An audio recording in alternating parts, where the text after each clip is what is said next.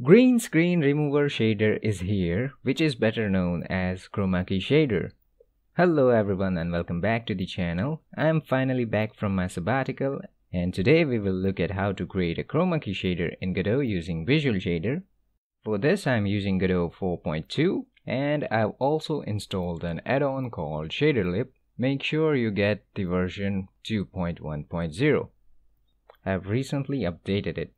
Alright, with that out of the way, let's get started.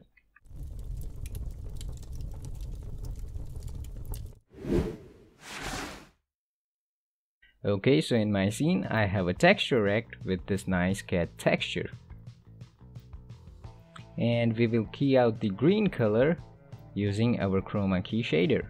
So first, let's create a visual shader. Now we are creating a shader for 2D item, so make sure to select the mode canvas item. I will call it chroma key shader. Now let's create a material for our shader. assign our shader to our material and we will apply our material to our texture rect material slot. In our visual shader, let me drag and drop our cat texture just for educational purposes. Okay, so we have this texture and we want to key out this green color. For that, let's create a color mask node feed our texture 2D in the input in. Now this color mask node will return 1 for the color we want to mask and it returns 0 for the rest. We want to mask the green color so let's feed it in our color mask slot.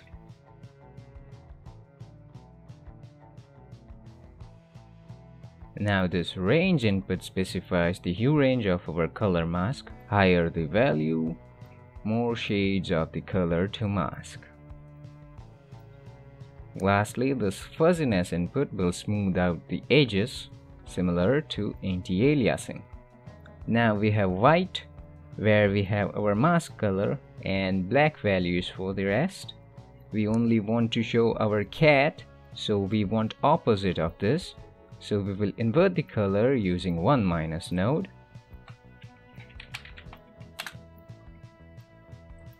1 minus as the name suggests subtract whatever values we feed in from 1. In our case it will invert the colors. Then we will take our 1 minus node's output and feed it into the alpha slot. Also take our texture 2D node's output and feed it into the color slot. And this is all the logic for our chroma key shader. However, we have directly taken the cat texture from our resources in reality, we want to key out the color from the texture we have assigned to our texture rect. So to access this texture, we can use texture variable.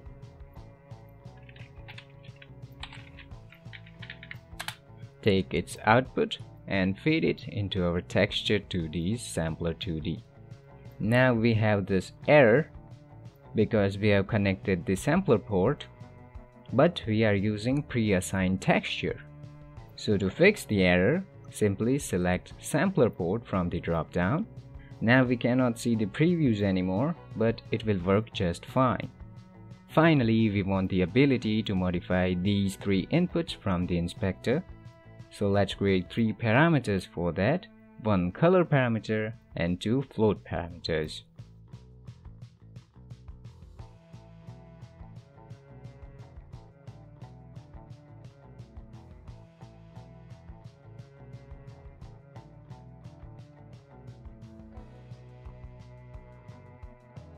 And we have our chroma key shader.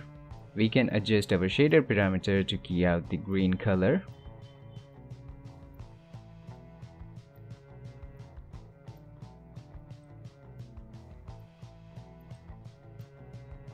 Now more practical use for this shader is in video player. So let me just change the type of my node to video stream player I have this nice cat video. Let me assign it to the stream slot. then I will check the autoplay to automatically play the video when we hit play. And I will also loop the video. Remember we have already assigned the material in our material slot. Let me hit play. And boom we have a nice green screen remover shader. Although we can practically remove any color we want and that's pretty much the video. If you find the video helpful hit the thumbs up button subscribe for more videos like this. If you have any questions post them in the comments.